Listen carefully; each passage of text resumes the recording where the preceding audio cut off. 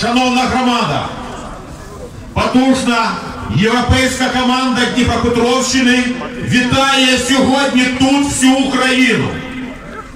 Ми серед цього моря людей.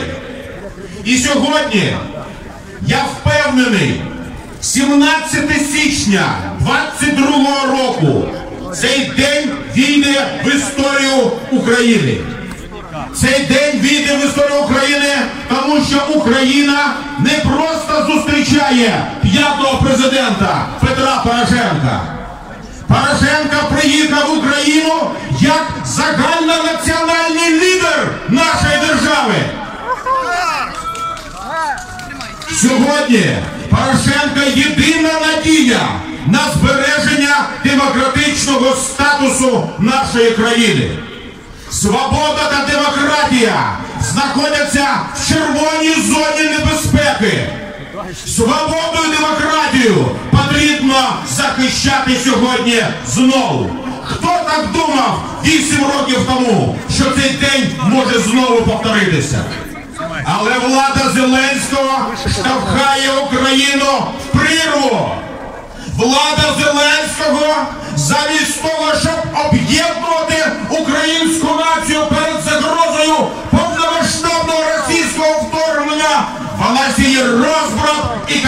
конфлікти. Вона стикає лбами українці один проти одного. І лише Порошенко взяв на себе функцію об'єднати всю країну задля збереження незалежності, задля збереження державного суверенітету, задля збереження української свободи і вільної української нації. Ви зі мною згодні? Шановна громада, ми маємо зупинити сповзання України у прірву перед великими ризиками повномасштабного вторгнення російських військ через страшну, ганебну, соціальну, економічну, енергетичну кризу влада Зеленського самоусунулася. І замість того, щоб захищати українців, катається на лижах в Буковелі. Ганьба цій владі! Ганьба!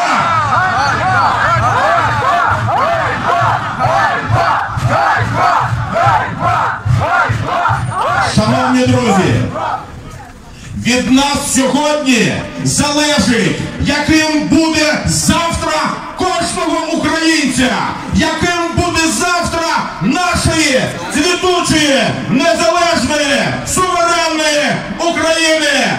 Слава Україні! Слава нації! Україна!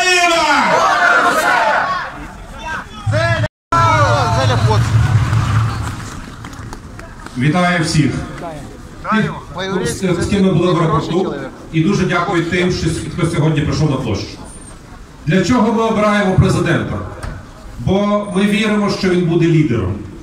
Ми віримо, що він буде тим прикладом для нації, за яким нація піде вперед, досягне свого розвитку, досягне успіхів і буде єдиною в подоланні проблем. Що ми чули ці три роки?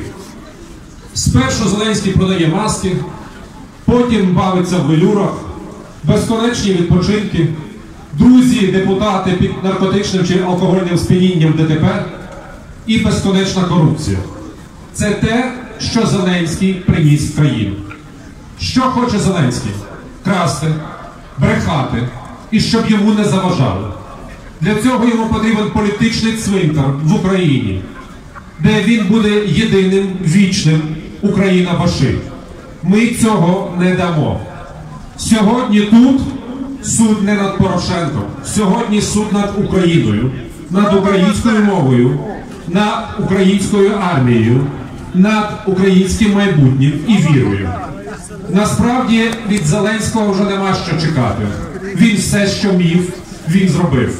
Тепер він має відповісти за те, що він обіцяв, а зробив абсолютно по-іншому. За дику корупцію, за дику некомпетентність і за постійну перманентну капітуляцію України.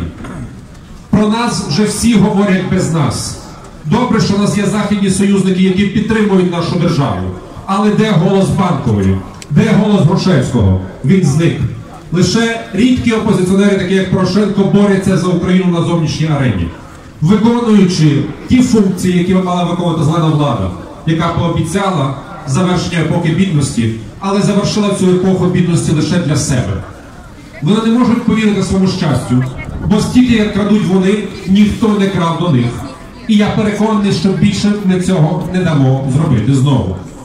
Тому давайте зробимо так, щоб цей рік був останній зелений рік в Україні. Досить Зеленського. Зеленського, гей!